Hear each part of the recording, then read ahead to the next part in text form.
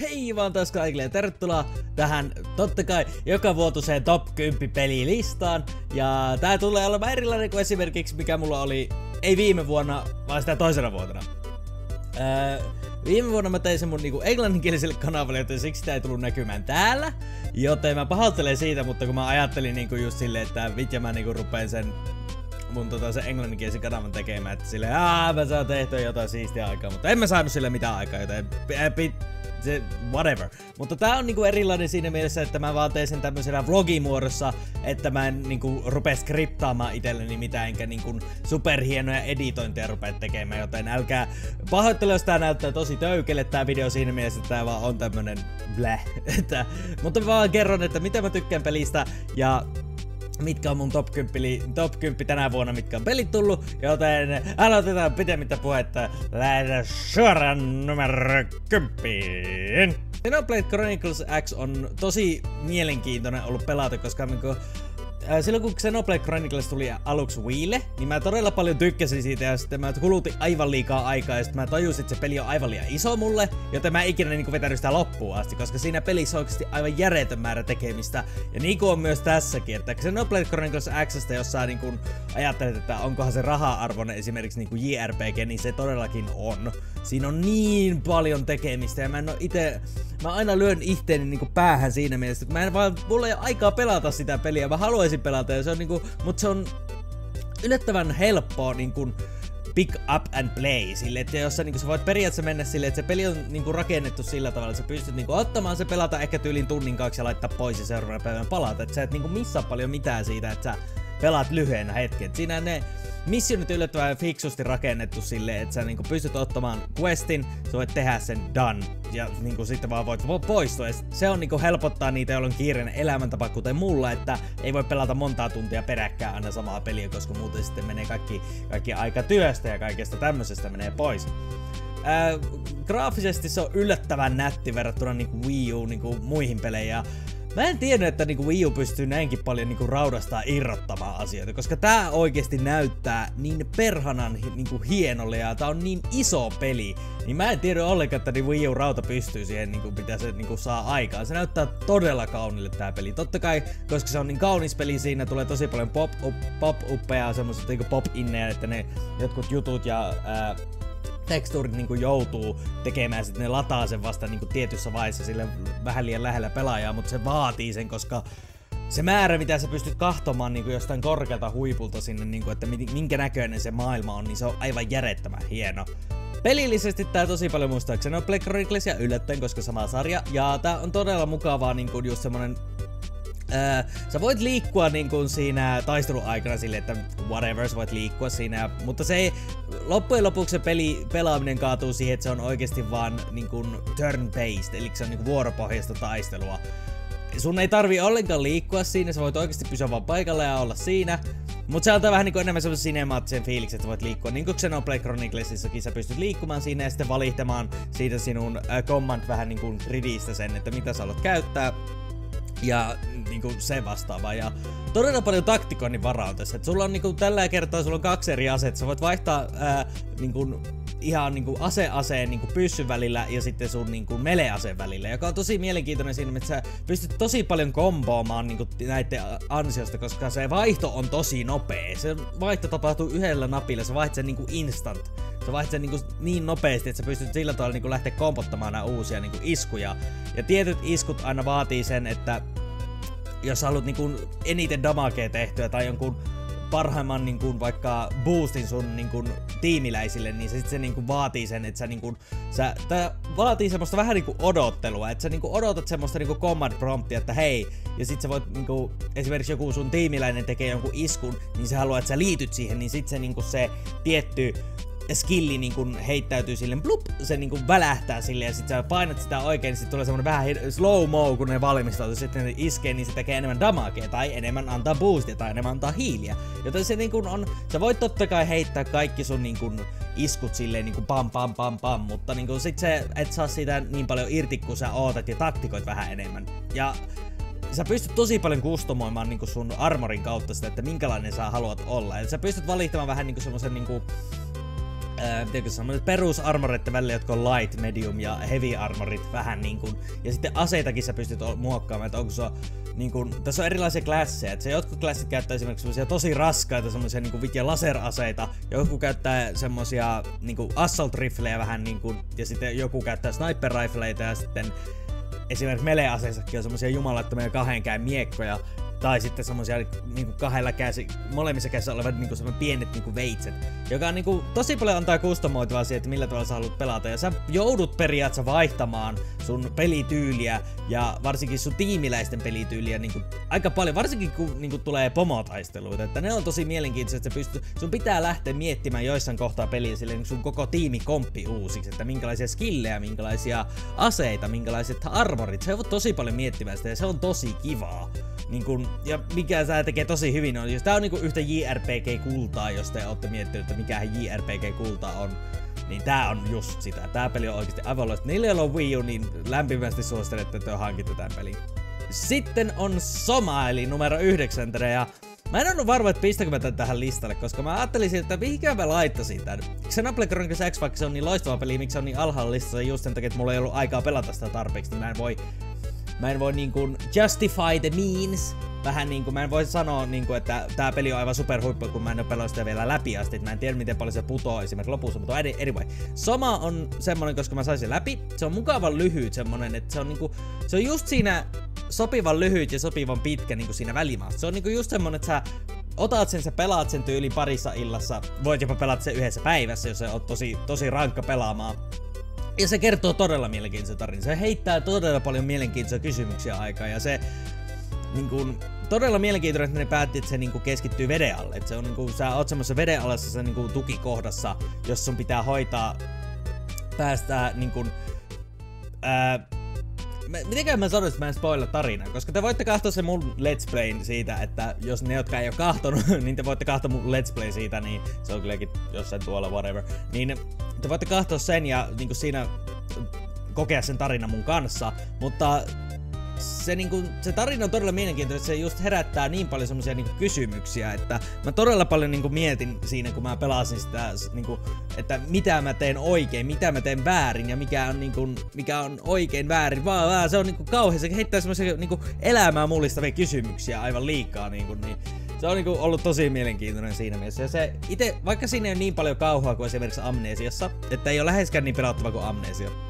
Mutta on tässä silti kuumottavia kohtia, että sä pystyt niinku tässä on niinku semmosia monsterit, jotka, jotka ahtaa sua ja monsterit, jotka on tosi semmosia, että niinku, ää, niinku, jotka pystyy niinku seuraamaan sua ja tappamaan sut kerrasta ja sen semmosia, mutta tässä on, tää enemmän keskittyy siihen tunnelmaan ja siihen tarinaan enemmän. Ja mä enemmänkin tykkäsin tästä enemmän kuin Amnesiasta, koska mä tykkään enemmän hyvistä niinku, tarinoista. Mä tykkään, että luodaan semmonen maailma, joka on uskottava, ja sitten se tarina keskittyy sen ympärille, ja se tarina pistää niinku, päähahmot ja hahmot niinku semmoisiin tilanteisiin, että mitä he, ovat, he joutuvat miettimään tekemisiä ja niinku vastoinkäymisiä ja tämmöisiä. Niin mä rakastan tätä tarinaa ihan yli kaiken, mikä tässä pelissä on. Ja mä, tää on todella nättikin peli, että totta kai tää käyttää vähän uudistetumpaa versiota kuulemma Amnesian siitä pelimoottorista, joten se niinku vähän näkyy sille. Mutta siltikin tää on aika nätin näköinen peli. Ja monsterit varsinkin, ne on tosi, tosi siistin näköisiä. Ne on todella yksityiskohtia.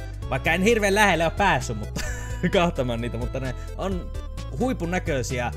Ja tää maailma on niinku just se vedenalainen maailma, missä oot, niin se on tosi tosi tosi nättiä ja tosi pelottavaa siinä mielessä. Niinku, mä, mua esimerkiksi mulla itselleni persoonallisista niin se ahistaa aivan hirveästi.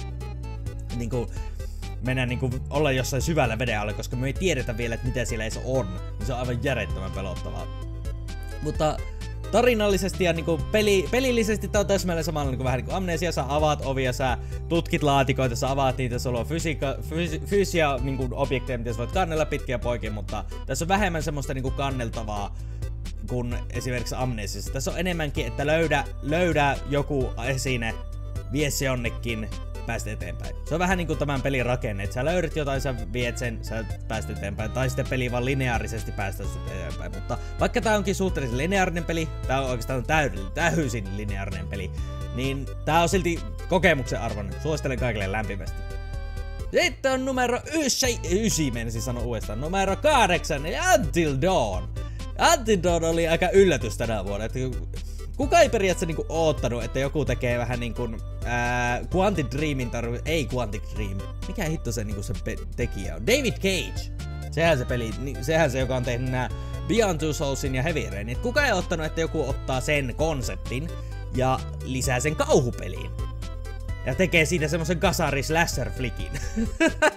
se vähän niinku, se on niin ihana miten paljon tämä just tämä tiimi ymmärtää sen, että mikä, niinku, mikä tekee kauhusta hyvää ja mikä tekee siitä todella niinku semmoista cheesimäistä, että mikä tekee siitä just semmoista niinku niin, niinku, Mä oikein tiedä miten sanoa suomeksi just cheesy, mutta niinku, ne jotka ymmärtää, niin tietää mitä cheesy meinaa. Et, niinku, se on tosi semmoista niinku, Sä tiedät, että jotkut nämä hahmot on suurimmassa osaksi stereotyyppisiä ihmisiä, ja, mutta sä niinku silti tulet välittämään näistä, että nämä on todellakin niinku, tämä tiimi, joka on tehnyt tämän, niin ymmärtää nämä stereotypia niinku näissä ihmisissä, jotka on, niinku, on just näissä tämmöisissä vanhoissa kasari slasher ja kauhuleffoissa.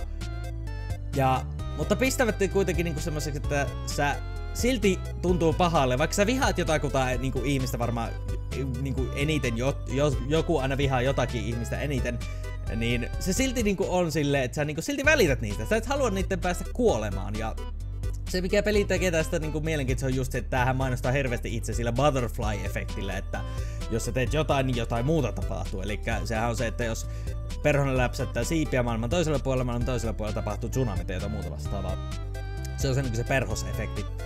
Niin se on niinku, se periaatteessa se toimii tosi hyvin, mutta tässä silti on niinku, Öö, niinku, tää on silti suhteellisen lineaarinen, että älkää antako sen käsittää väärin, että se niinku mullistaa koko tarinan, jos sä teet yhden asian väärin, mutta pääpointtia tässä, että sä yrität pitää nämä kaikki niinku, nuoret teinit, mitkä tässä on, niin hengissä, ja se on niinku se pääpointti, että sä niinku, jos sä teet jotain, niin joku saattaa kuolla sen takia, että sä teit jotain, tai jos sä sanoit jotain väärin, ja koska tässä on semmoisen niinku personality treittejäkin, miten se laskee tätä peliä, mutta mä en ole sitä varmaan, mitä se niinku, mitä se on saanut aikaan tässä pelissä. Mutta tää niinku on ollut niinku tosi mielenkiintoinen kokemus ja tosi niinku yllättävä, niin kuin mä sanoin, ja tää on ollut siis todella todella hyvin tehty, että niin kuin, graafisestihan tää peli näyttää aivan jumalattoman nätille, että, ja varsinkin se mocap, eli motion capture, niissä hahmoissa on tosi hyvin tehty niissä naamoissa, vaikkakin ne jotkut niin kuin, ilmeet näyttää tosi vahvoille, koska se joutuu tekemään tosi vahvasti, että se, niin kuin se teknologia ottaa sen vastaan, että se joutuu tosi paljon ilmeilemään, mutta se on niin kuin, tosi hyvin tehty ja nämä hahmot on niin kuin mä sanoin, stereotyyppisiä, mutta silti niillä on se hahmo. Niillä on rakennettu se oma juttu. Sä rupeat oppimaan niistä peli edetessä enemmän enemmän, mitä ne haluaa tehdä ja mitä ne ei halua tehdä. Ja niin kuin, nämä hahmot on todella mielenkiintoisia ja hauskoja. Ja graafisesti tosi nätti. Ja peli, pela, pelillisesti tää on täsmälleen samalla niin kuin melkein kuin just nämä kaikki Heavy Rainit ja Beyond Two Soulsit. Sulla on, sä kävelet siellä maassa, sä etit jotain asiaa, joka kiiltää, ja sitten niin kuin sä otat sen, sä teet jotain, jotain tapahtuu sinemaattista quick time eventtiä, bla bla bla bla. Tosi perus niinku tämmöstä, mikä on ollut. Mutta se toimii tässä niinku ideassa jopa sanoisin paremmin kuin niissä heavy tai näissä, koska se niinku, jos miettii just semmoisen niinku, ää, kauhuleffan niinku, jutun, niin siinä just sille, että ne ihmiset tekee, sä oot varmasti ootte jotkut kahtonut niinku kauhuleffoja, varmaan ehkä kaikki teistä, mutta te olette varmaan ajatellut siitä kahtoista, että miksi se tehnyt tolleen, miksi se käynyt hakemassa sen esimerkiksi kirveen tai jotain muuta vastaavaa, niin tää niinku peli pistää sut siihen tilanteeseen, että sä päätät sen, että otat sä sen jutun, riskeerat jotain muuta tai jotain niinku, tai siis sitten pelastat kaikki tai jotain muuta vastaavaa. Tää, niinku, tää pistää sut siihen pointtiin, että sä nyt et, et enää voi sanoa, että miksi ne tekee tolleen siinä kauhuleffassa, koska sä oot tehnyt sen valinnan. Se on niinku just siistiä, että miten paljon tää niinku tekee sen. Tää on ihan niinku ollut tosi yllätys. Tosella paljon on tykännyt tästä pelistä. Tää on ollut aivan, aivan mahtava pelata varsinkin läpi asti. Ja tää todella paljon niinku antaa siihen niinku lisäpeluarvoa, että sä pystyt niinku pelastamaan kaikki, sä voit tappaa kaikki, tai sit sä voit niinku olla siltä väliltä. Että sä voit pelastaa tietyt ihmiset tai tietyt ei. Joten niinku tää antaa sitä arvoa ja suosittelen kahtamaan kaikki loput, koska ne on todella mielenkiintoisia. No niin, numero seitsemän on Rebel Galaxy. Mä oon tehnyt yhden video tähän vaan ja syynä on ollut se, että kun mä lähdin pelaamaan, kun mä niinku kuulin tästä pelistä, mä olin silleen, että toi näyttää tosi mielenkiintoista. Mä oon oottanut vähän niinku tämmöstä niinku ää, Firefly-tyyppistä peliä. Et ne, jotka on Firefly TV-sarja, niin tietää.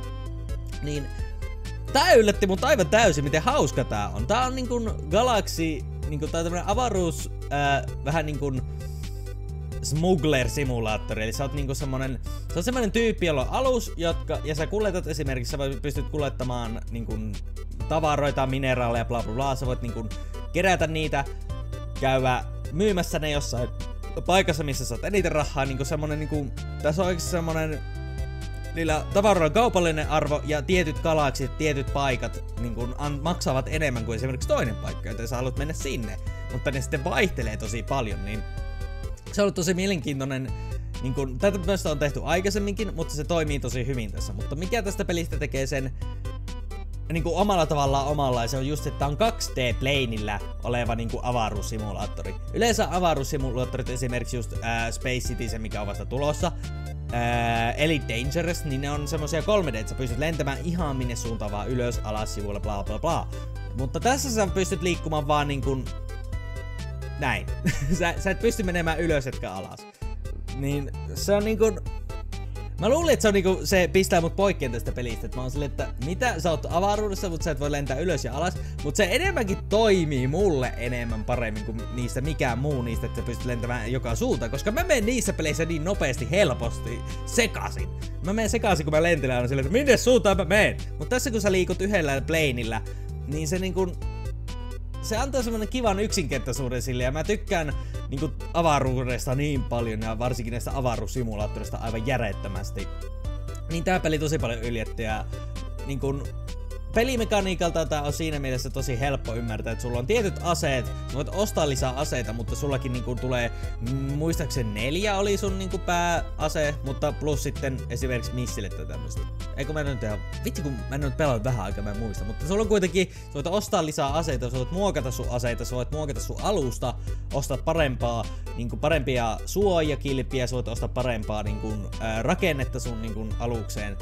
Ja sitten niinku aseella sä voit muokata eniten. Että tässä niinku nämä avaruustaistelut on tosi...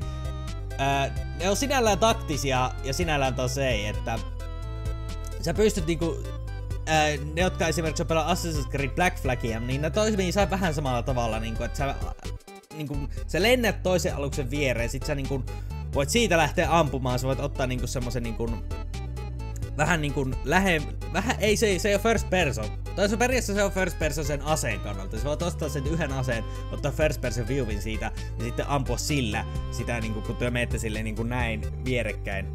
Ja sitten se käännyt Se on vähän niinku laivataistelut. Niinku, ja se toimii tosi hyvin tässä. Näet tosi mielenkiintoisesti. Niin se pystyt tosi paljon käyttäytymään myös niinku, ää, sun niinku ympäristöön hyödyksi. Että jos sulla on hirveästi asteroid, asteroideja esimerkiksi ympäri, sä voit kiertää asteroidin takaa, että sä saat niinku paremman niinku kohteen siihen viholliseen. Se vihollinen saattaa olla silleen, että wow, se tuleekin tuolta. Et se niinku, tässä on sinällään taktikointia, mutta suurimmassa osassa mitä mulla meni, kun mä oon tarpeeksi upgradeannut mun shippiä, niin mä vaan vitja menin sinne viereen, tykitin kaikki vitja päälle. Mutta varsinkin niissä isommissa taisteluissa joudut taktikoimaan vähän enemmän, että missä sä oot, ketä sä ammut, ketä sä priorisoit, ketä sä suojelet, niin ja todella kiva on ollut tämä niin kuin, ohjattavuus, että vaikka mulla ei ole joystickia, joka mun pitää todellakin hankkia, tai niin kun mä en käyttänyt ohjanta, mä käytin pelkästään, tämä peli sanoi, että käytä ohjanta, mutta mä käytin ää, hiirtä ja näppäimistöä, niin tämä toimi tosi hyvin. Mä, mulla ei ollut mitään ongelmaa, tää toimi tosi hyvin hiirellä ja näppäimistöllä, ja tosi helppo oli vaihtaa aseitten välillä, tosi näppäimet on tosi hyvin laitettu, että sä et mene missä vaiheessa sekaisin, Paitsi että, no ehkä aseissa saatais mennä vähän sekaisin alussa, mutta se opit tosi nopeasti siihen. Niin ja graafisesti tää näyttää tosi nätille, avaruus on aina nättiä, minulle ainakin itselleni. Ja alukset on tosi hyvin detailiettuja, eli yksityiskohtaisesti tehtyjä. Mutta ei niinku räjäytä kenenkään sukki, että on niinku mikään super hienon näköinen peli. Että on tarkoituksella niinku tän näköinen, mikä tää on. Ja se on graafisesti niinku, varsinkin tälle vuodelle on ollut tosi, tosissakin niinku tyydyttävä. Että se ei ole liian, se ei ole liian huonon näköinen. Tekstuurit ei pomppaa missään vaiheessa. Efektit on tosi nätinäköisiä. Kaikki nämä asseitten-efektit ja nämä räjähdykset on tosi siistinäköisiä. Ja tää yllätti mut täysin, tämä niinku ihan samalla tavalla kuin Until Dawnkin. Tää yllätti, mä en ottanut ollenkaan, että niinku, mä olisin tykännyt tästä pelistä ja sitten kun tää ilmestyi, niin mä en ollut kuullut tänä vuonna sitä ollenkaan, kun vasta silloin kun se ilmestyi. Niin mä olin vaan se, että ei vois kokeilla, että se vaikuttaa ihan kivalle. Ja se oli tosi kiva, että kiva, että kokeilin ja se on ollut tosi mukava niinku tämmönen avaruussimulaattori. Vähän niinku semmosille, jotka haluaa vähän yksinkertaisempaa, eikä sitä, että liikutaan 3D-maastossa. Joten suosittelen lämpimästi niille, jotka tykkää avaruussimulaattoreista. No niin, numero 6 on Life is Strange. Life is Strange rikkomut. Ne, jotka kaatu mun niinku se Let's Play, joka mä aion todennäköisesti poistaa mun kanavalta sitten, kun mä aloitan tämän peli alusta pelaamaan. Mä aloitan se joskus, varmaan ehkä ensi vuonna jossain vaiheessa. En ole varma. Mutta, niin Tää peli rikko mut. Tää peli käy läpi niin paljon semmosia asioita, jotka osuu lähelle mua ihteen. Ja tää käy niinku läpi jos teini, teini-iästä, niinku, tai no ei nyt ihan teini, no nuoren aikuisen iästä just semmosia asioita, mitkä on niinku todella raskaita ja todella mielenkiintoisia niinku asioita, jotka voi läpi käydä. Life is Strange on niinku episodimainen, vähän niinku Telltalein sarja, ja pelaajakin aika lailla kuin Telltalein pelit, mutta ei ole Telltalein tekemä. Ja tää kertoo niinku Max Maxin tarinaa siinä mielessä, että kun hän, hän saa voimia, jolla hän pystyy kääntämään aikaa taaksepäin, hän pystyy niinku rewindaamaan niinku aikaa taaksepäin tietyn verran.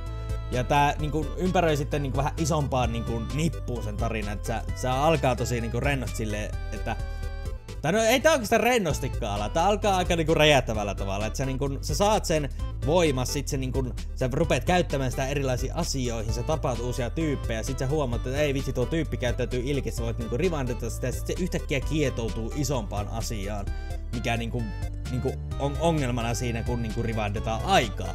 Ja vaikka tämmönen tarina on aikaisemmin tehty, että sä niinku, jos sä, jos sä niinku, että jos aika matkustat niitä niinku rikkooko se tulevaisuutta, mitä sä ajat takaa. Ja se just, että niinku on olemassa niin monta ulottuvuutta siinä vaiheessa, kun sä lähdet niinku aj- ajasta taaksepäin etenemään, niin siinä joka kerta muodostuu aina uusi ulottuvuus, kun sä teet asiaa toisinpäin silloin edellisellä kerralla kuin sillä toisella kerralla.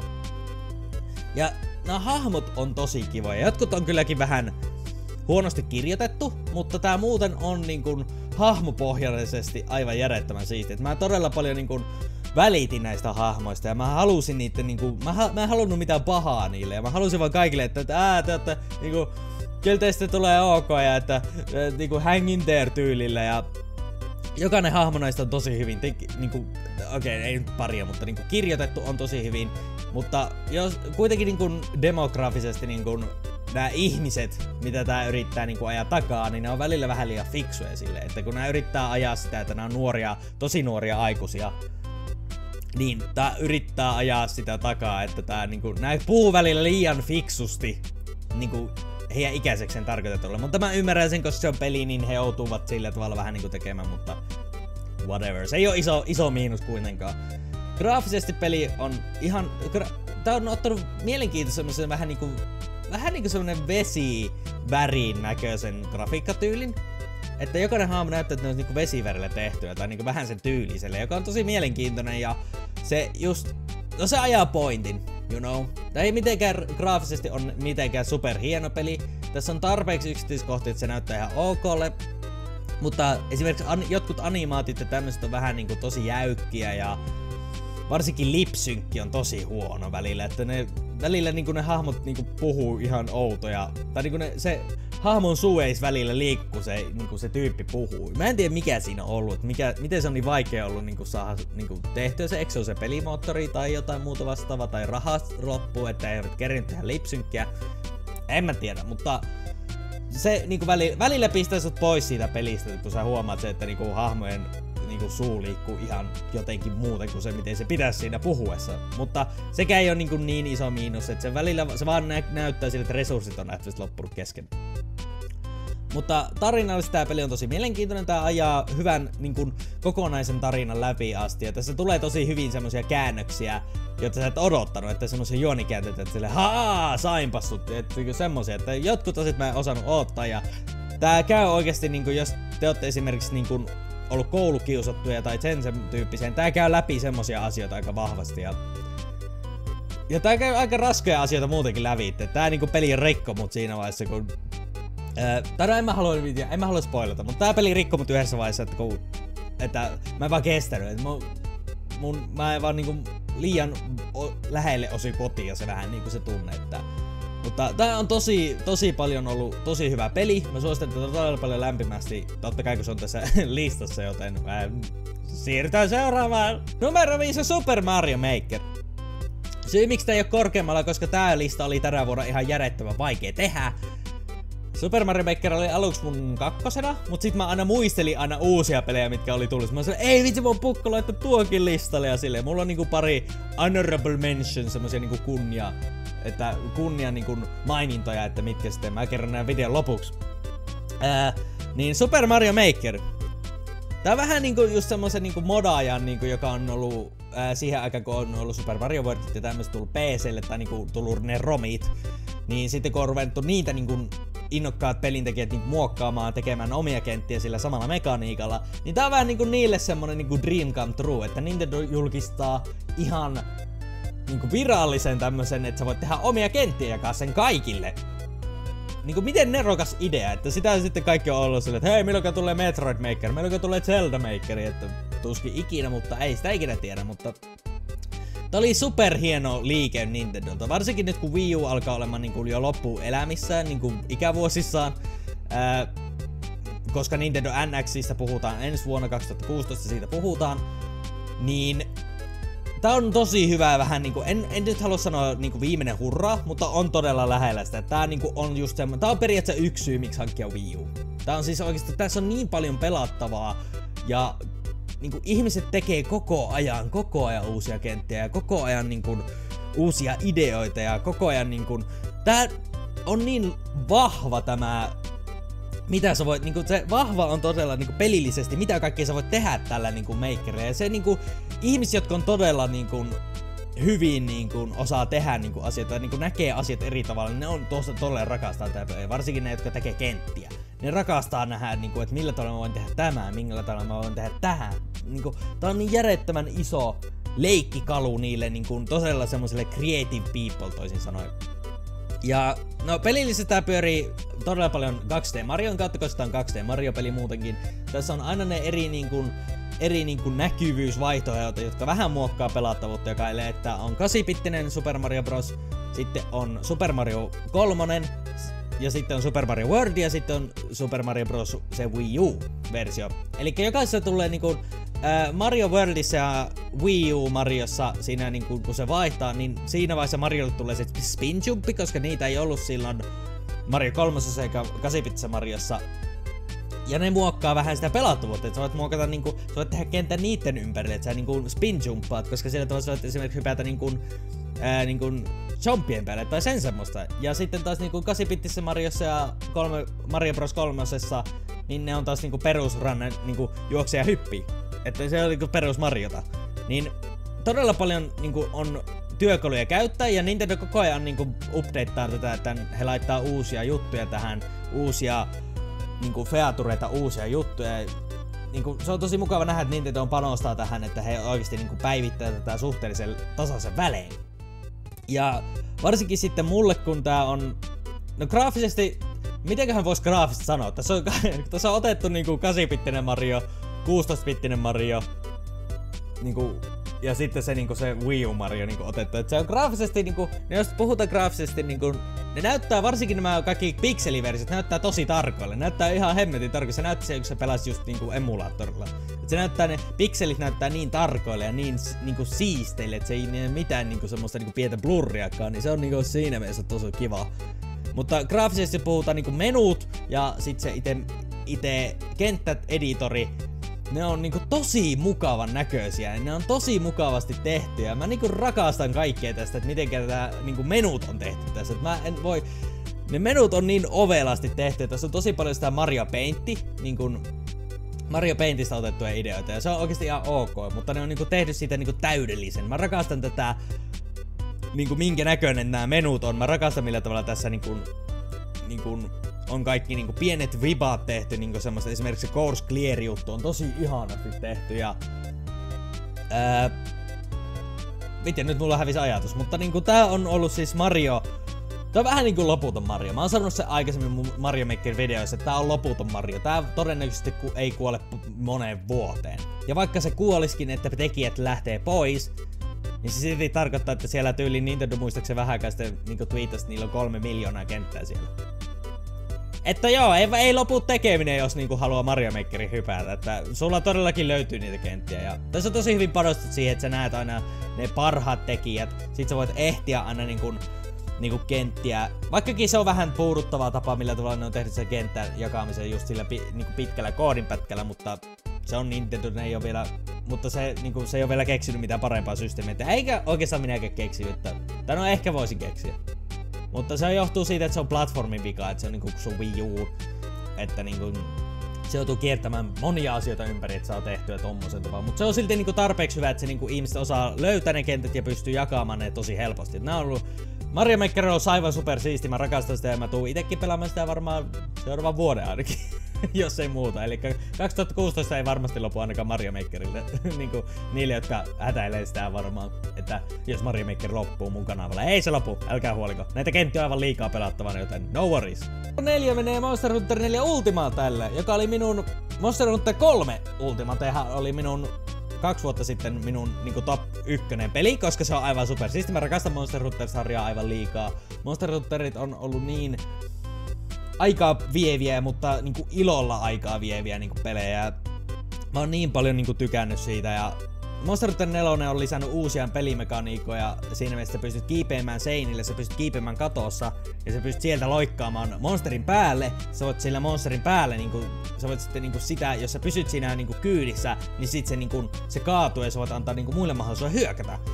Ja se avaa niin uuden, niinku, ja tässä on niinku, liikkuvuus on niin paljon sulavampaa kuin Monster Hunter 3. Sä pystyt niinku, kun sulla on nyt juoksunappi, niin sä pystyt, niinku, sä pystyt hyppimään niinku, ää, niin kuin reunalta pois paljon nopeammin, paljon sulavammin ja tosi paljon nopeammin sä pystyt kiipeilemään ja sillä tavalla. Tää on niin, kuin niin liikkuvuudeltaan niin paljon parempi kuin Monster Hunter 3. Että niin kuin niinkin paljon kuin muuttaa tuommoista pientä liikkuvuutta, niin se avaa niin paljon uusia niin kuin, asioita. Ja ne monsteritkin on rakennettu sen ympärille. Ei tietenkään kaikki, koska tässä on val- paljon vanhojakin monstereita, mutta niin kuin, ne uudet monsterit on rakennettu tosi paljon sen ympärille, että sä pystyt hyppäämään niiden selkään tai niinku pystyt hyppäämään ja tekemään hyppyiskun ja niinku tämmösiä. Mutta miksi tää on niinku numero nelosena on just sen takia, että tois varmaan ollut numero ykkösen, jos mulla olisi ollut aikaa pelata tätä enemmän. Mä oon lopettanut tämän pelaamisen niinku monta kuukautta sitten ja mulla on vieläkin niinku kaverit, jotka pelaa sitä tosi innokkaasti ovat vasta aloittaneet niinku pelaamaan tosi innokkaasti myöskin. Niin... Ja mä haluaisin liittyä seuraan, mutta kun mä oon niin mä olin niin kuin alilevutettu NS, koska tässä on se ränkkipohjainen. Ja mä olin ali, niin kuin, aliränkkinä, että mä en enää kehtaa hypätä mukaan, koska sit se vaan tarkoittaa sitä, että he joutuisivat mua oottamaan, että he pääsevät itse niin kuin niihin ää, isomman ränkin tehtyyn, koska he joutuisivat auttaa mua pääsemään sinne samaan ränkkiin ja varsinkin saamaan kaikki niin kuin armorit. Mutta ne, jotka ei tiedä mikä Monster Hunter on, Monster Hunter on semmonen niin kuin kirjaimellisesti mikä nimessä, että sä monstereita jahtaat. sä niin kuin, ää, Sä pyydystät ja sä tapat monstereita. Tää peli keskittyy pelkästään vähän niinku, niinku pomotaisteluihin. Että peli koostuu isoista, vähän pienemmistä monstereista, isoista, jotka on niinku jumalattoman kokoisesti semmoisia pienempiä monstereita. Mutta jokainen tappelu tässä, koska tää kasvaa aina niinku, niinku silleen niinku tasaisesti, että kun sä saat lisää niinku, äh, hyviä gearia, hyviä semmosia, sä kasvat ränkissä, niin monsteritkin kasvaa. Mutta jotkut taas ei, mutta ne vaikeutuu esimerkiksi iskujen puolesta niin sä pystyt menemään, sä pystyt ottaa kolme lisää kaveria mukaan, sä pystyt hunttaamaan heidän kanssaan, ja sit sä, joka monsteri, mikä tässä tekee mielenkiintoista, on just se, mitä moni on sanonut, että, ää, niinku, että mikä puuduttaa tässä on just, että kun tässä, millä tavalla saat uutta gearia, millä tavalla saa uusia armoreita, uusia aseita. Sä saat sillä tavalla, että sä tapaat monsterin, sä craftaat siitä, tai sä niinkun, sä Vitsi, mulla hävisi se sana. Mutta sä niinku otat siitä monsterin ruumiista niitä asioita. Sä voit esimerkiksi ottaa siltä hännän, sä voit ottaa siltä ää, niin kun, sitä niin kun, ihoa, skiniä. Esimerkiksi lohikärmit sä voit ottaa niitä skeilejä ja näitä. Niin kun, ja sitten sä voit ottaa niin kun, kynnisiä, hampaita, niin kun, sarvia. Että totta kai se on suhteellisen randomis, tai se ei ole randomisoitu, mutta niin kun sä, mitä sä saat, niin se on prosentuaalinen määrä aina, mitä sä saat otettua sitä hirviöstä silloin, kun sä oot sen napannut tai tappanut. Ja sillä, sitten kun sä oot tarpeeksi kerännyt niitä tiettyjä asioita tietyistä monstereista, niin sä pystyt sillä tavalla craftamaan sitten itselle uuden armorin, uuden aseen. Ja se on tämän pelin niinku pääpointti. Tää on suhteellisen paljon grindaamista. Tää peli niinku keskittyy pelkästään vaan grindaamiseen, mutta tää on just niin hyvää grindaamista kuin vaan voi olla, että Jokainen taistelu ei ole ikinä samanlainen, tai jotkut on sitten kun sä alat tottua niihin monsteriin, mutta jokainen tappelu silti tulee olemaan silleen, että sä joudut pysymään varpailla. Että sä et voi, sä kuolet tosi helposti tässä pelissä. Jos sä vaan menet ja yrität olla semmonen hack and slash hero, että sä vai, meet vaan hakkaat hyökkäysnappia silleen niin sit sä, sä kuolet tosi nopeasti, koska ne monsterit on tosi, tosi niinku, tosi niinku trigger happy toisin sanoen, niinku liipaisherkkä. Et ne hyökkää niin äkäiseen sun kimppuun, jos sä niinku näytät silleen, että sä, niinku, sä et osaa väistellä niiden iskuja, sä et osaa ottaa huomioon sun helttiä, sä et osaa ottaa huomioon sitä ympäristöä. Ja mitähän muuta tässä voisi sanoa, vittu. Mä rakastan Monster Hunterit, ne on oikeesti aivan siistiä. No graafisesti peli on tosi niin kuin nätti 3DSlle, 3D näyttää tosi upealle, Monsterit näyttää tosi siistille ja varsinkin Armoritkin näyttää tosi siistille, että ovat niin kuin improvanneet, niin kuin kehittäneet sitä, mikä oli Monster Hunter 3 aivan huimasti. Ja pelillisesti, niin kuin mä sanoin, niin tässä on tosi paljon uudistuksia, mutta vieläkin pyörii saman ympärille. Että sulla on kaksi hyökkäysnappia, sulla on raskas isku, sit sulla on niinku se vähän normaalimpi isku, sit sulla on niinku erikoisiskuja, ja joita sä voit käyttää, joilla on erilaisia efektejä. Ja sitten tässä on tosi paljon aseita. Tässä ei ole niin paljon aseita, mitä mä olisin luullut, niinku uusia aseita. Että tässä niinku on uusia aseita, vitsi kun mä en muista enää nimiäkään, kun siitä on pitkä aika mä muistin, mutta semmonen ötökkä, seiväs, ää, jossa sulla on ötökkä, niin sä voit sen heittää niin kuin, ää, monsteria ja sä voit ottaa siitä jotain niin kuin, boostia itelles. Ja sitten, vitsi kun mä en muista näitä uusia. Ää, ne on kuitenkin video netissä, jos te kiinnostutte ollenkaan, niitä voitte käydä kahtoa, mutta niin kuin, pelillisesti tää on vaan siis niinku niin loistavaa niinku action niinku peliä. Että tää on niinku just se, että tää ei oo action RPG, koska sä et oikeastaan kasvata sun statseja millään muulla kuin sun noilla aseilla ja niinku armoreilla. Tää on enemmänkin grindauspeli, jossa niinku, joka kestyy pomotaisteluihin. Jos sulla on kavereita ollenkaan, että niinku, jotka haluaisi lähteä tämmöisen grindaamisen mukaan, että niinku tapellaan isoja monstereita vastaan, jotka on mielenkiintoisia, tosi haastavia pelata, niin ottakaa neljä kaveria ja pelatkaa. Tää on aivan super ihana, niin varsinkin lanipeli, tää on aivan jumalattoman hauska, mutta tätä voit pelata netikin yli, ettei tarvi olla aina samassa huoneessa pelata. Joten tää on, suosittelen lämpimästi, Monster Hunterit, oot, ootettain sitä, että Monster Hunter X tulee ensi vuonna, että se jää nähtäväksi.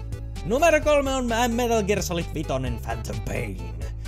Tääkin on semmonen peli, että mä en oo pelannut tätä läpi asti. Siis vittu kun Mua ärsyttää se, kun niinku, on niin paljon pelejä pelattavana, niin mä en saa pelattua tämmöisiä isompia pelejä läpi, koska MGS 5 on jälleen kerran yksi iso peli. Se on niinku, se on eka kerta, kun MGS menee täysin open worldiin. Tai no, ei nyt ihan täysin, tai no, no joo, on se kyllä.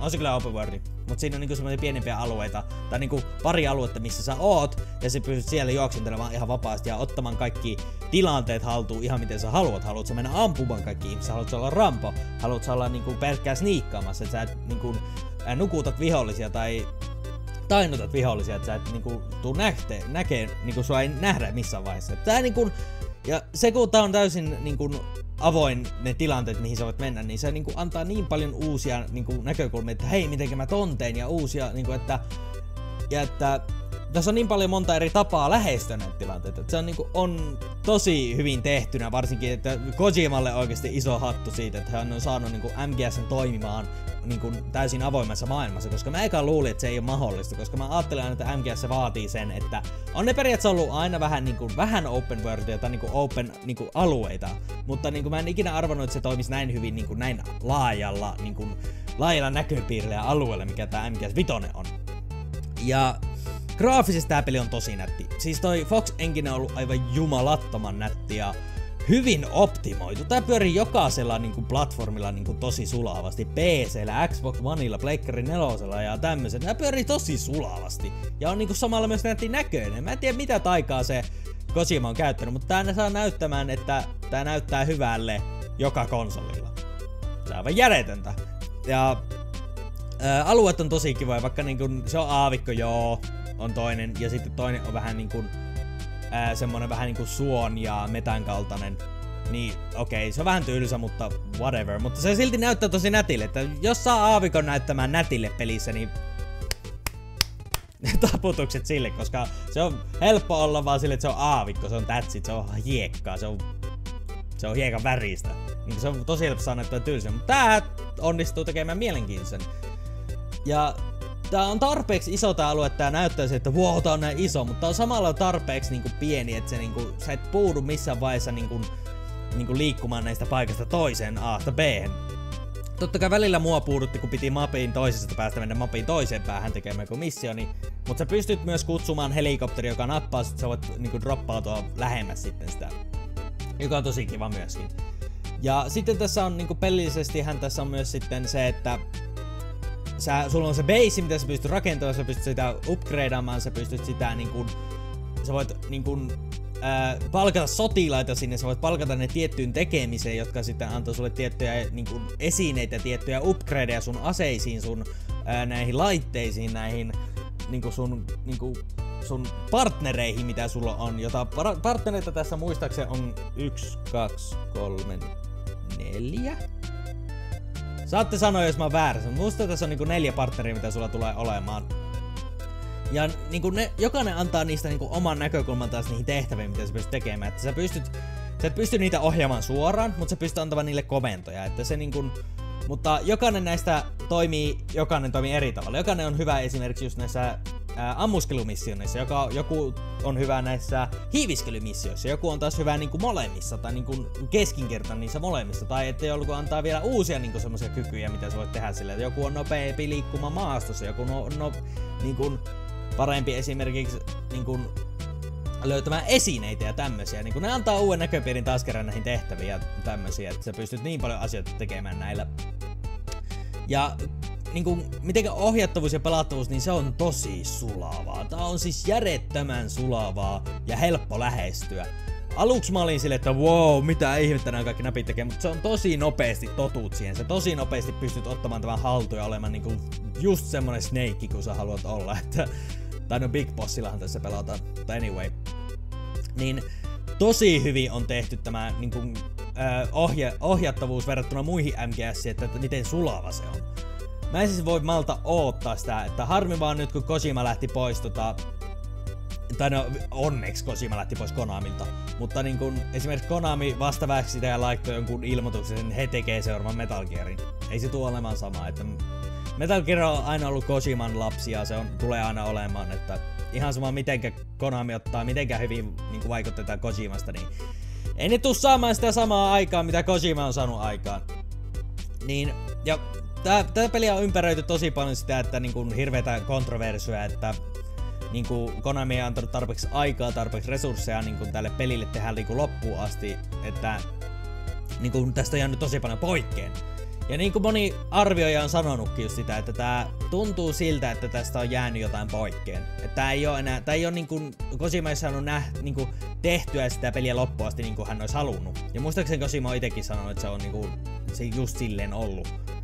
Ja se on harmi. Se on harmi, että Konami on ollut muuttunut ihan pyllyreikä vitja yhtiöksi tähän mennessä. Niin kuin se ei tee mitään enää oikein. Se, se tappaa kaikki sen pelit peli franchise, peli niinku, jotka, joilla on iso fanbase, se tappaa kaikki.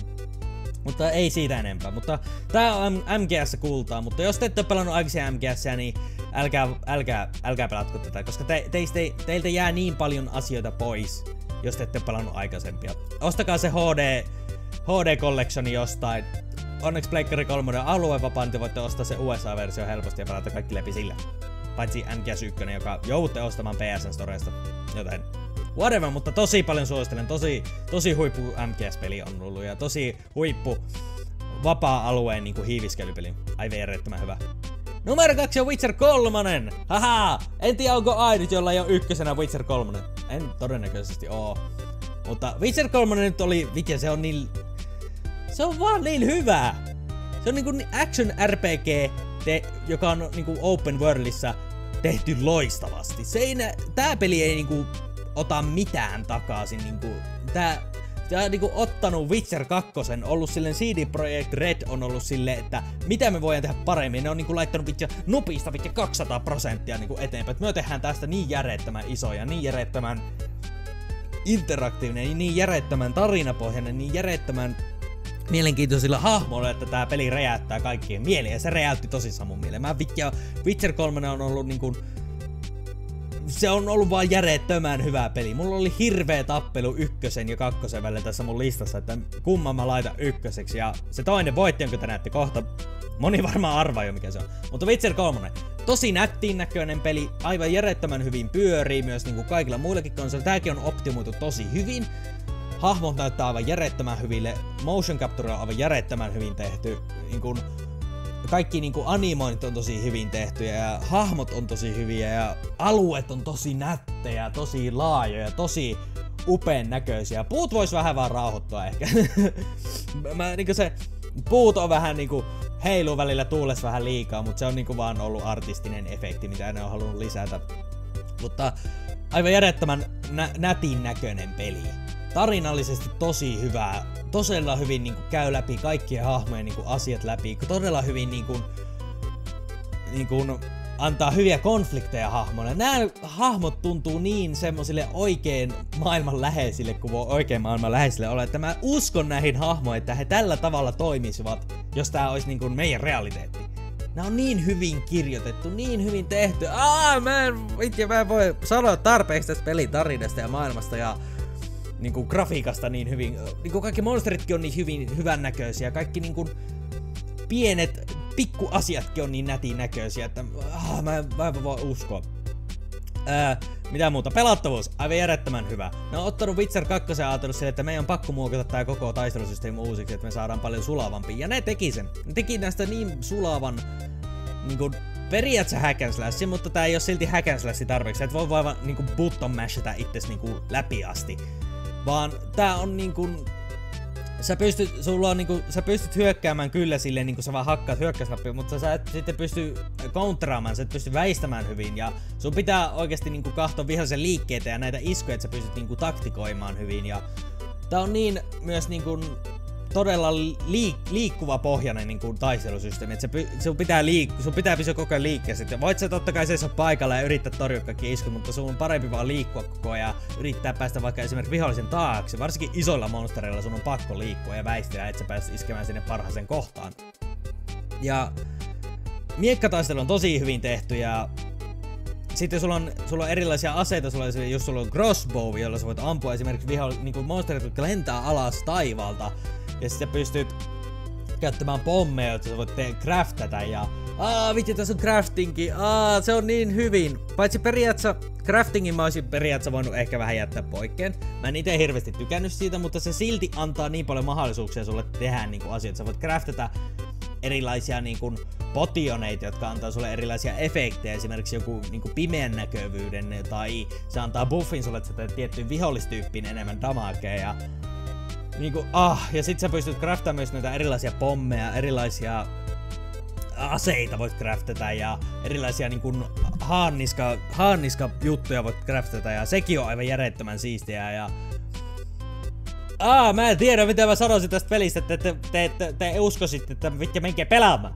Menkää pelata, tää peli on aivan super ihana. Käykää pelaa. Te ei edes pakko pelata Feature 1 ja 2, jos te haluatte nauttia tästä. Tää peli hyvin tekee sen, että tää on vähän niinku oma juttusa. Totta kai tässä on tiettyjä semmosia niinku, tiettyjä tota, referenssejä, jotka teiltä menee ohi, mutta jos te ette ole pelannut Witcher 1 ja 2, niin ei haittaa, ostakaa, pelatkaa, tää on aivan superhyvä peli. Ja numero yksi on sitten totta kai Undertale.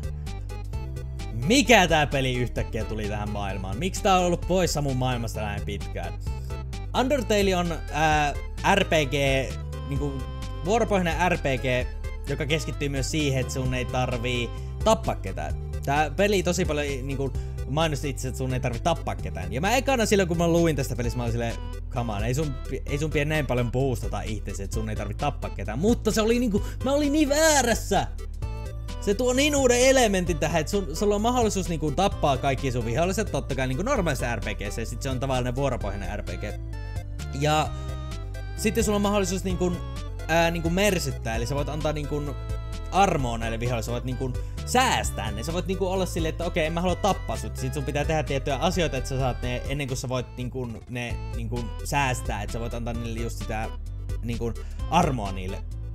Ja se antaa niin uuden näkyvyyden just siinä mielessä, että niinku se mikä tekee tästä taistelusysteemistä niinku hauskana, niin just se, että niinku, jos sä niinku, okei, okay, vaikka sä tappelisit niinku normaalisti hyökkäsit, tai sitten sä et hyökkää, tai sä yrität niinku jotain, sä yrität puhua viholliselle, sä yrität ää, halata niitä, sä yrität laulaa niille, sä yrität mikä, niinku, niinku, mikä pullistella sun lihakses niille, ihan mitä vaan, niin se taistelusysteemi keskittyy siihen, että sä, se on tosi niinku, ää, niinku liikepohjainen siinä, missä sä, sus, sä oot semmonen pikku sydän, ja sä väistelet vihollisen hyökkäyksiä semmoisella tietyllä alueella, ja viholliset hyökkää sulla erilaisilla tyypeillä ja vastaavilla niin kuin liikkeille ja tämmöisillä, ja sit sun pitää liikkua, sun pitää yrittää väistää ne. Ja se antaa niin uuden jutun siihen, että millä tavalla sä niin kuin, ää, niin kuin, millä tavalla sä väistelet vihollisen iskuja sillä tavalla, ja ah, vitsi, se, se on niin ovelasti tehty ja niin, niin, kuin niin yksinkertainen. Ja niin yksinkertaisesti toteutettu, joka on aivan järjettömän hienoa. Mutta se mikä tästä pelistä tekee aivan järjettömän ihanan on on, se, on tää tarina ja nämä hahmot. Tää peli on niin hyvin kertoo tarinaa ja nämä hahmot on niin hyvin kirjoitettu ja tää on yhden jätkän tekemä, niin se on aivan järjettömän siistiä ja niin tää on siis niin kuin tarinallisesti hahmoiltaan ja tää on niin upeasti tehty ja jokainen hahmo on omanlaisessa. Jokaisesta, ha, jokaista hahmosta opit aina jotain ja tää niin kuin graafisesti on todella mikä nyt on. Moni, moni varmaan sanoo, että tää graafisesti niinku pistää niinku poikkeen. Tää grafiikkatyyli niinku ei lämmitä heitä ja he sen takia esimerkiksi skippaa tämän pelin, mutta älkää skipatko, se on se arvoinen. Että grafiikkatyyli, mutta se toimii tässä. Se toimii tässä pelissä niin hyvin, koska se ää, ei vaadi, että musta tuntuu, että tää samantyylinen peli ei olisi toiminut 3Dnä ei ollenkaan. Että mä uskon, että Toby Fox, joka tämän pelin on tehnyt, niin on tarkoituksella ottanut tämän grafiikkatyylin, koska hän ehkä tiesi, että tämä ei toimi 3Dnä. Tää en tiedä. Jos joku tekee 3D Undertale, niin sure. Sille go right ahead. Mutta esimerkiksi niin kun, niin tää ja ah, vitsi kun mä en, mä en keksis sanoa, että mitä mä niinku sanoisin tästä. Ja tää video on muutenkin kohta jo tunnin pituinen saakeli, että mä en tiedä mitä mä sanoisin Undertaleista. An, mä en halua sanoa mitä Undertale tarinasta, koska se spoilaa sua, niinku spoilaa kaikkea. Mutta se miten mä vois sanoa, että tässä pelissä on periaatteessa kolme loppua. Joka auttaa siinä, että se niinku, mm, niinku antaa sulle läpipeluarvoa lisää, että ää, tässä on pasifistinen reitti, jolla sä tapa ketään, neutraali reitti, jossa sä tapaat pari tyyppiä, ja, tai niinku sä voit tappaa pari tyyppiä ja esimerkiksi niinku antaa armoa parille tyypille. Se on neutraali loppu, joka on mun Let's Playssä. Ja sitten on Genocide-reitti, joka on, että sä tapaat kaikki. Sä tapaat aivan kaikki tässä pelissä. Jokaisen bossin, jokaisen vihollisen, jokaisesta alueelta. Ja se tarina muuttuu näissä kaikissa reitteissä niin omanlaiseksi. Se muuttuu niin paljon niin kuin just semmoiseksi, että jokaisessa reitissä aina niin kuin, tietyt hahmot käyttäytyy eri tavalla, tietyt tilanteet tapahtuu eri tavalla ja just se, esimerkiksi just se loppu on aivan erilainen ja sä opit joistain hahmosta enemmän, jos sä pelaat eri reitin ja aah, tää peli on niin syvällinen niin kuin siinä mielessä, että miten nämä hahmot on tehty ja nämä hahmot, aah, se mikä peli tää tekee niinku, on se tarina ja se, niinku, ja se taistelusysteemi on niin kivan yksinkertaisen kiva mutta samalla myös tosi intensiivinen ja... Ah, tää peli on siis aivan loistava. Tää, sen takia tää on numero ykkönen. Tää kosketti mua eniten pelaajana. Ja tää Undertale näytti mulle taas kerran, että niinku ehkä peleillä on vielä mahdollisuus. Koska mä oon aina ajatellut niinku vähän aikaa sitten, just kaikkia näiden ää, niinku business practice, mitä esimerkiksi Ubisoft tai Konami tai nämä tämmöiset tekee, että just tämmöisiä typeriä suunnitelmia, niin tää Undertale taas näyttää sen, että kyllä peleillä, niinku peleillä on mahdollisuus, varsinkin just näillä, että näillä uusilla pelien tekijöillä, että Undertale on niinku, näytti mulle sen, että peleillä on mahdollisuus vielä loistaa niinku just tällä, että mitä peli, mikä, Undertale näytti just vielä sen, että miksi pelit on pelejä että miksi pelit on niin hyvä media niin kun, ja miksi se on niin hyvä kulttuuriksi kasvanut ja miksi se on olemassa. Undertalein niin paljon näyttäisin niille, jotka ajattelee, että miksi videopelit on hyviä. Mä annan niille Undertalein ja näytän sen niille, että pelatkaa tätä. Tää kertoo teille, että miksi videopelit on aivan superihana. Tää kertoo tarinan, tää antaa hyvän me- pelimekaniikan. Tää antaa sulle muistettavia hahmoja. Tää antaa sulle niin kun, tää antaa juoni käänteitä sulle, mitä sä et odottanut. Siis tää on järjettömän loistava. Käykää tukemassa. Vaikka te ette tykkäskään tämmöstä pelistä, niin käy, kokeilkaa edes. An, niinku, tukekaa tätä peliä. Tukekaa pelin tekijää. Tää on aivan järjettömän hyvä peli. Aivan siis järjettömän hyvä. Okei, eli siinä oli pitkä video lyhyeksi. Ei kyllä ole lyhyt. Herra jestas mä saan puhua. Mulla ei tarvitse tehdä tästä vaan tyyli ehkä puoli tuntia, mutta tää niinku pitkitty melkein tunnin pituiseksi jaksoksi, herra jestas. Mutta siinä on mun top 10 peli tältä vuodelta. Woo! Sitten otetaan 2016, eli toivottavasti sekin tulee tuomaan tosi uusia hienoja pelejä. Mitä mä niinku tiedän, että mitä pelejä on tulossa niinku ensi vuonna, niin todennäköisesti tulee olemaan tosi hyvä pelivuosi ensi vuosikin. Mä ainakin toivon niin. Koska mä aina ootan joka vuotta aina innolla, että minkälaisia uusia pelejä, minkälaisia uusia kokemuksia mä saan aikaan. Ja tästä listasta just niinku kerrottain, mitenkä upeita niinku miten upeata, upea vuosi tää on ollut niinku videopelille. Tää video on ollut 2005 ollut ehkä yksi mun suosituimpia niinku videopelivuosia ikinä. Tänä vuonna on tullut niin paljon uusia pelejä, että tässä on niin paljon pelejä, joita mä en ole laittanut edes listalle. Ja tässä on mun nämä kunniamainet, mitkä mä sanoin. Eli kunniamainet on Project Zero Maiden of Blackwater, Wii U'n kauhupeli, joka keskittyy siihen, että sä kameralla niin hoitat kummituksia. Tosi kiva peli. Splatoon, toi jälleen kerran Wii U'n peli, yllätys, niin kolmannen persoonan ammuskelupeli. Tää on vähän niinku jos Nintendo tekisi FPS. tai niinku just semmoisen vähän Call of Duty.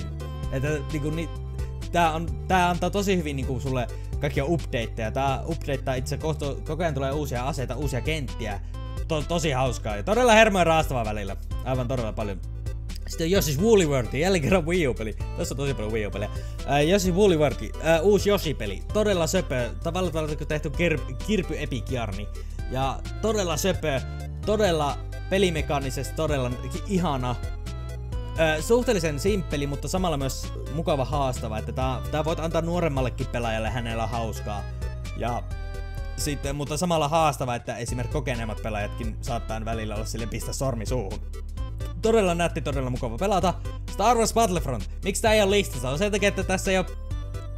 Tää on vähän... Tää on vähän tyhjä, sanotaanko nää FPS-peliksi, että... Tässä on aivan liian vähän asioita.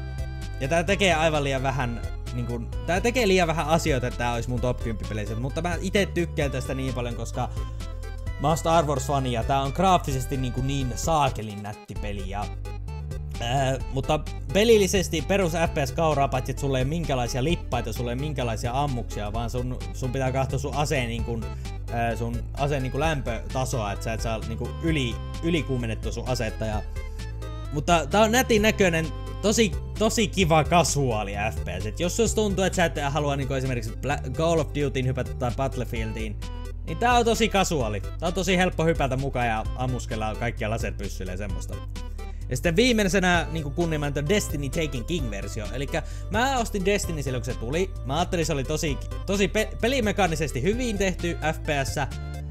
Mutta se oli niin, niin, niin tyhjä. Siellä ei ollut mitään, mitä Bungie oli luvannut tälle pelille. Siellä ei ollut minkäänlaista. Tarina oli tosi tylsä. Se, tehtävät oli tosi tylsiä ja niinku, ah, tää oli niin tylsä peli. Mutta sitten kun Taken King tuli, tää expansion, josta tuli se oma versio, joka mä sitten hankin, se lisäsi niin paljon tähän peliin, että tää periaatteessa on nyt sen arvon jopa, että vois pelata.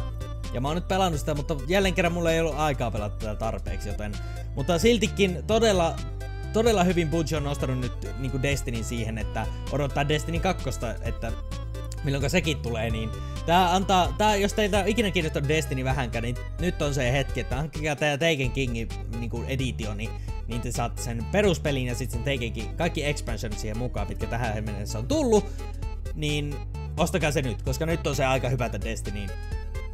Okei, okay. Nyt tämä video on loppu tässä. Hyvä, kiitos. 2015 on purkitettu. Hyvä, let's go home. Ja nähdään ensi vuoden puolelle, joten kiitoksia taas kun olitte mukana. Ja toivottavasti tykkäsitte. Jos tykkäsitte, paina se tykkää tuolta alapuolelta. Arvostatte todella sen teette. Musiikkakapideoita kaverit ottais kelle vaan. Musiikkapissa oikein kauden taas ensi kerralla. Ja se on moi moi!